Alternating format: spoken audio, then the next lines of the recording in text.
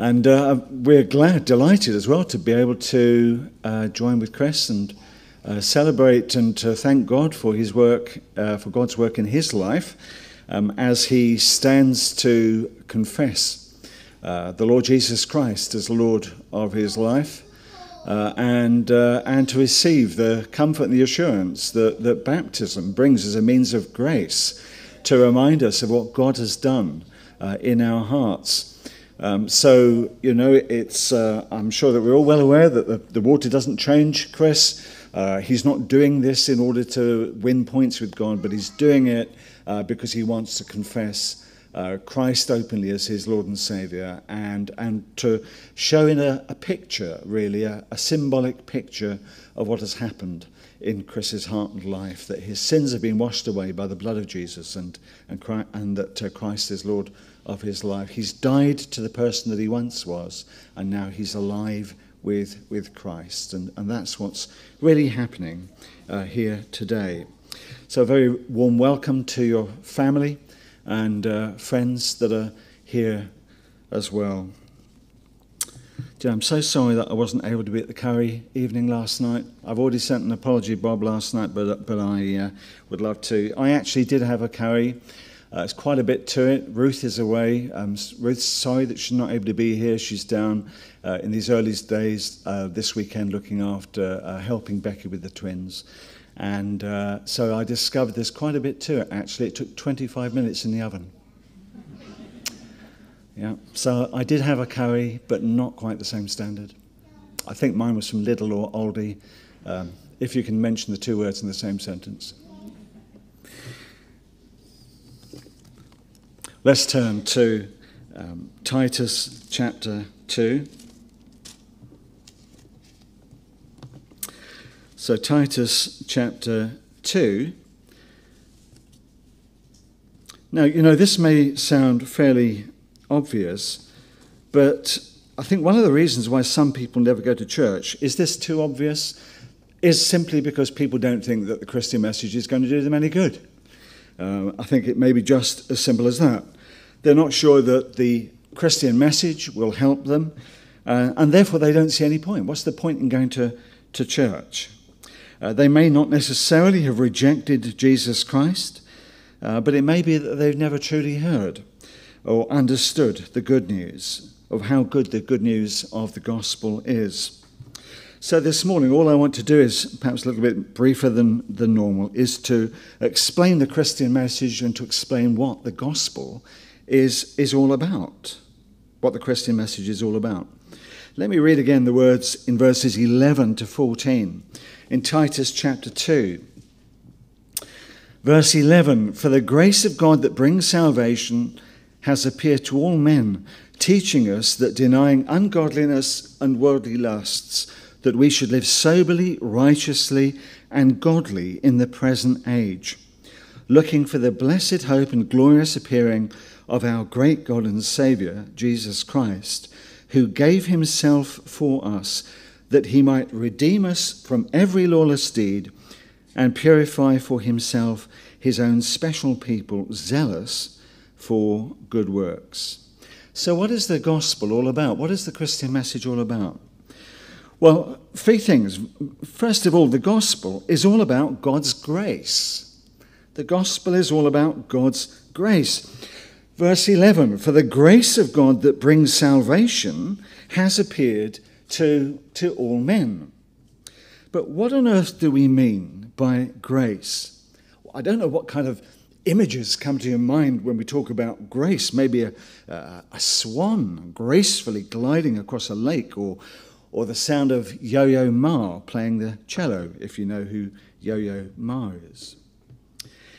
But although that kind of does come to mind, it's not what the Bible means when it talks about grace. Because when the Bible talks about grace, it's speaking of God's undeserved kindness, not simply his kindness towards those who don't deserve it, but his kindness towards those who actually deserve quite the opposite of his kindness.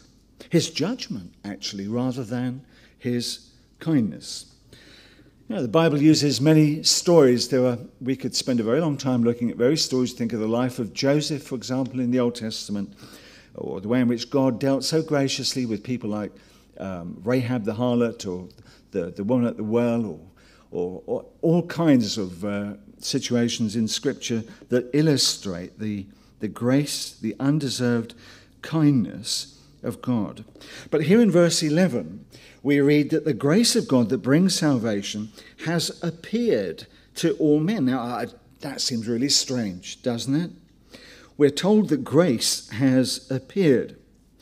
And according to the apostle Paul who wrote this letter to Titus, he's not just he's not talking about a concept, uh, he's not talking about an idea or a philosophy, but he's talking about a person the grace of God has appeared, and this grace has appeared in a person, the Son of God, Jesus Christ.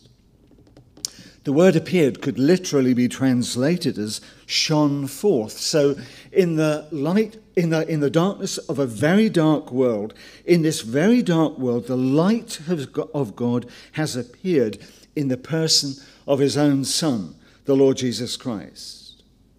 See, this is how the same apostle Paul puts it when he writes to the Philippians. He says that he humbled himself, came to this earth, the Son of God, who is without beginning and without end. He is eternally worshipped and adored by a, a myriad, a multitude of angels that cannot be counted. And he came to this earth, took upon himself human flesh, but also took upon himself the form of a servant in order to serve his God and Father, to save guilty men and women, boys and girls, children, uh, people like us. And to do that, he went all the way to the cross, nailed to the cross, died upon a cross, suffered death, even the death of the cross. Well, I wonder whether you've never heard that. I wonder whether maybe you've grown up hearing it frequently, but it's never really touched your heart. I wonder whether you know this morning the grace in the gospel. Do you know that this grace is to be found in none other than the Lord Jesus Christ? And that the King of heaven, the creator of the universe, the one who scattered stars into space, stepped down out of heaven, became a baby, and came to us, bringing the grace of God. Now, it seems to me that that's where so many people make the mistake of thinking that Christianity is just another religion, that it's, it's men and women's attempt to reach up to God, uh, to try and be good enough to climb the ladder of self effort, to try and climb a few more rungs up the ladder towards God. And yet, Paul says that the grace of God has appeared, come down, that God has come in his Son, the Lord Jesus Christ, so that it's not about religion, it's not about class or creed or color or culture. The grace of God has appeared to all people. That doesn't mean that all people will be okay when they die. It doesn't mean that all people will be okay, will be fine with God when they, their lives end. It doesn't mean that. It doesn't mean that all people will be saved universally. It doesn't mean everyone will go to heaven, but only those who receive the Lord Jesus Christ personally as Lord and Savior and who bow their knees and humble their pride and enter through a, a narrow gate and onto a narrow way will be right with God. And that's why the gospel must be preached to the ends of the earth, because there is no other name under heaven given among men by which we must be saved. There is no other Saviour. There is no other way to get right with God. Christ must be proclaimed because he is the only hope for men and women and boys and girls. There is no other way to find peace with a God who is holy, holy, holy. But here is the really good news that for all of us, the gospel is all about God's undeserved, abundant, unbelievably good news about God's grace. So that's the first thing that he says the gospel. What is the gospel? Well, it's, it's the gospel of God's grace. But secondly, notice that the gospel is all about God's power. God's power as well. The Lord Jesus appeared not to bring some new ideas or philosophy or religion, but in order to change people's lives for all eternity. People like Chris Savage. It may seem very hard to believe in our 21st century world. You might ask, well, how, how can Christianity, how can this message, 2,000 years old, how can it be relevant to men and women today? The world is changing so fast. I mean, even COVID has reminded us of that, of how rapidly the world changes. But you know, the gospel is always relevant because circumstances may change, technology may change, the world may change in a thousand ways whether it's because of COVID or something else. But the reality is the human heart never changes. And that is why the Bible is the most up to date book in the world. It is the most contemporary message that you can ever hear because it applies throughout the whole of history to every human heart. That's why it's so relevant. Now, Paul is writing this letter to a church leader called Titus. He's on the island of Crete. He's there because the Christian message is spreading very rapidly. Many people are becoming Christians. But you know, there was a proverb, he tells us in this letter that there was a proverb that was spoken about the people of Crete. They're always liars, evil beasts, lazy gluttons. That's not very nice, is it? Always liars, evil beasts, lazy gluttons. Their children grew up learning to lie, it was in their blood. Actually, it's really interesting. A few years ago, I went to the uh, Ashmolean Museum in Oxford and um, and I, I, I, discovered that there was a, um, a cabinet, a big glass cabinet, there's a display of artifacts, uh, items that, they've, that the archaeologists have found on Crete. And quite interesting because the most significant thing there, the most prominent thing amongst all of the artifacts, is, is various articles all connected with food, foodie things. Because it said, this is, you know, these are not necessarily Christians who are doing this display, but they quite clearly stating it's because of their obsession with food. I think it confirms exactly what Paul is saying here about the people of Crete. Obsessed. Always liars, evil beasts, lazy gluttons. And so Paul has sent Titus to appoint church leaders, young church leaders, probably not been Christians all that long, but, but you know, he, he is to appoint men as leaders of the churches that are being planted. And they're to be men who are different in a culture like Crete with its lies and its spin and its double standards, I mean, quite unlike today, of course. But a, world of spin and of lies, an, an unhealthy, un, uh, unpalatable kind of world, despite their obsession with food. The leaders of the church were to be of the churches were to be men whose lives had been radically transformed, men of integrity, men in whom there was no credibility gap between what they said and how they lived, what they were in public and what they were in private. And the point is that Titus is able, that's the point, he's able to appoint such men because this is what the gospel had done to such people, had transformed their lives completely. It's the power of grace to transform lives.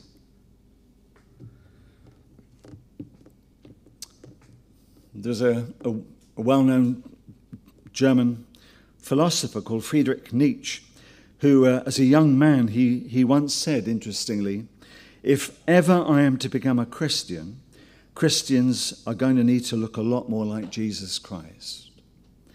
Well, Friedrich Nietzsche actually became a terrible opponent of the Christian faith. But in Crete, you see, all kinds of people were becoming more and more like Jesus Christ. You see that here in chapter 2. That's why I wanted the earlier part. You may have wondered, why are we reading the whole of this chapter? Well, it's for this reason, because of the kind of people that you see mentioned here young and old, slave and free, rich and poor, men and women, educated and uneducated.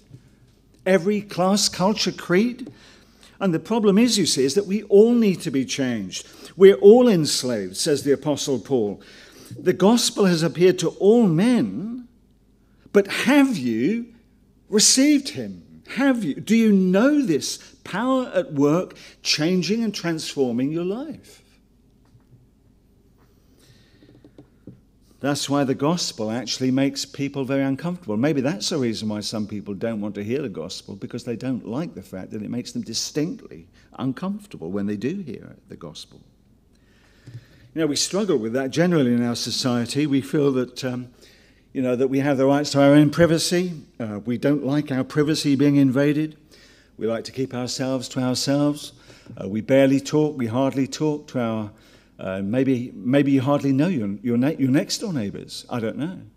Um, next door neighbours hardly speak to one another in the places where we live. So that when we do get really up close and personal and admit our need to, and recognize our need to admit uh, our, our sin and to receive the Lord Jesus Christ, that kind of uh, up close and personal message is distinctly uncomfortable in our age.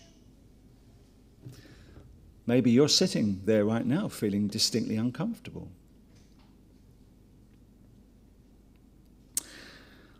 If you've never been made to feel uncomfortable with the gospel, I just wonder have you ever heard the gospel? And even now, maybe as Christians, do we daily become uncomfortable at the reminder? Sometimes, perhaps. Because the gospel is not only a gospel of grace, it is a gospel that confronts our sin, it confronts us and brings us face to face with our guilt in the eyes of God, to whom all things are naked and open. You can't get more personal than that.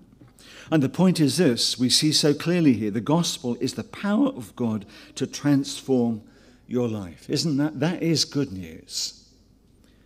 It doesn't matter who you are, young or old, rich or poor, male or female, slave or free, Jew or Gentile, educated or not. The gospel of Christ is the power to change your life so that you actually become a new person in the sight of God so that you're transformed, you become a new creature in the sight of God. All your sins are no longer counted against you, but are laid upon Christ, who died upon the cross, and his righteous life is put to your account. And then on a daily basis, we are actually transformed in daily practice and in our lives.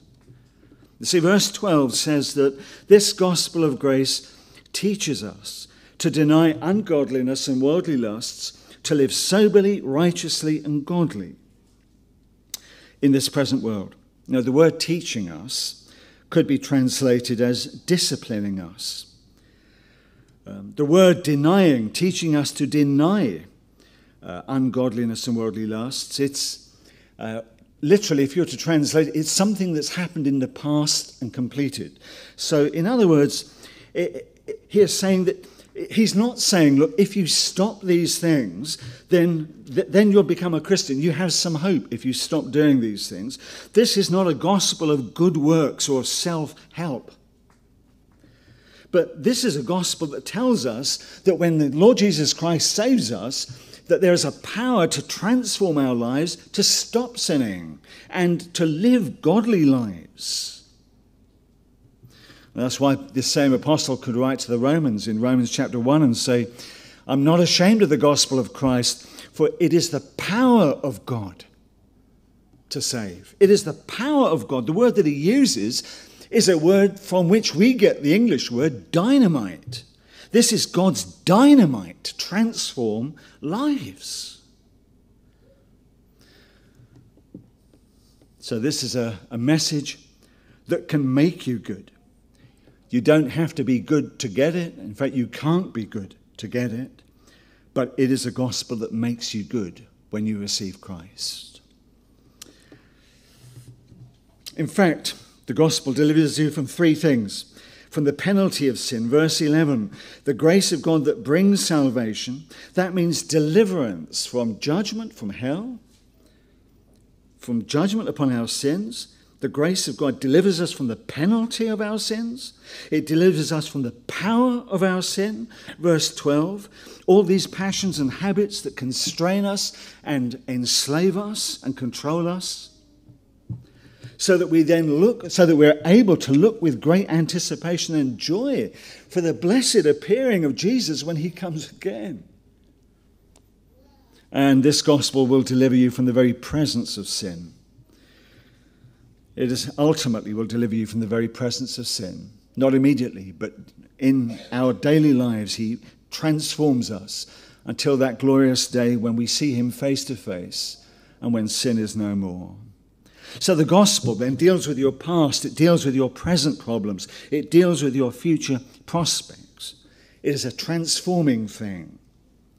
So that Paul can say that after you're converted, old things have passed away. Behold, all things have become new because of this new birth that you experience through the Lord Jesus Christ. But thirdly, I, must really bring this to a close. But thirdly, you notice this the gospel is all about God's grace the gospel is all about God's power. But then, thirdly and finally, the gospel is all about God's Son, Jesus. How is such a change possible? Well, the answer is found in verse 14. Our great God and Savior. It's because of our great God and Savior. And by the way, he's not saying our great God and our Savior, but our great God who is our Savior, our Savior who also is God made flesh, Jesus. It's possible because of the key word here, which is to redeem. He, he came into this world in order to redeem us. I'm sure that we're all aware of what redemption means, and you're able to, even these days, you can redeem something. Uh, you can redeem something online, can't you?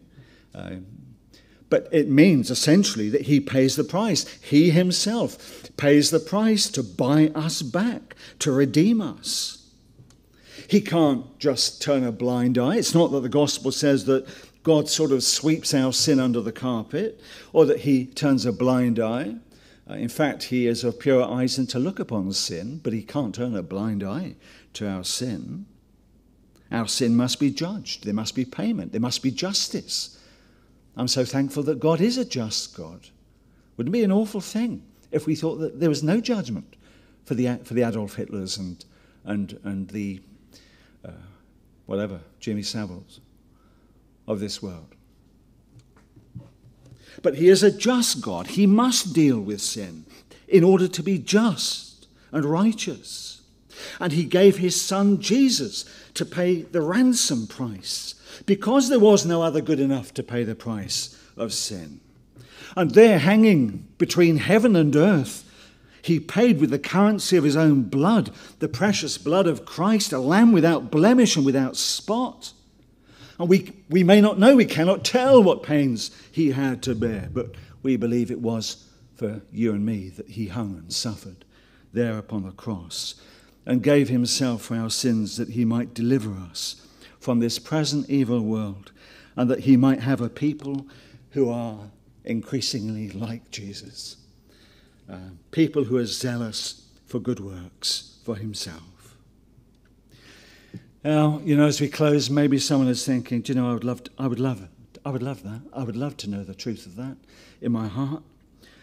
I would long to be a person like that, a person who no longer lives for sin, are no longer, no longer a person who lives for the habits, the addictions that enslave me? Would you wish, would you want to live righteously for God in this present evil world with its temptations that increasingly seem to be more obvious than ever? Well, if so, the answer is really, really simple. The message of the gospel is really simple.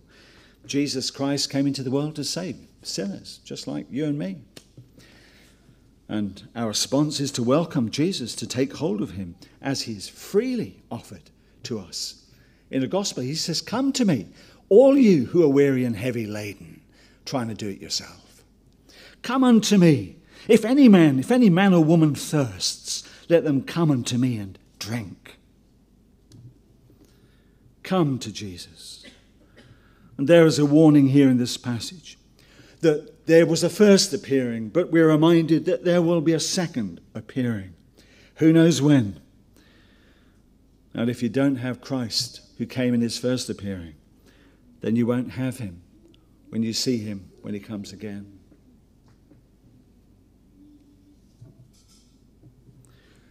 You won't be right with him when he comes. You, you won't be right with him when, when you see him, when he comes again. Do you know, this is the third Sunday in a row when we've baptized somebody, and each story has been incredibly different. Each one just as significant as the other, each one just as, as much a miracle from God as the others. But you know, the real question is what about you? What about you? This really is a gospel of grace, amazing grace, the grace of God, the power of God. And it's all about the Son of God. And the question that remains that will that that is hanging in the air, the question that's left hanging for you this morning is what about you? Do you know the grace of God? In this person, Jesus? And if not, why not today? Why not now?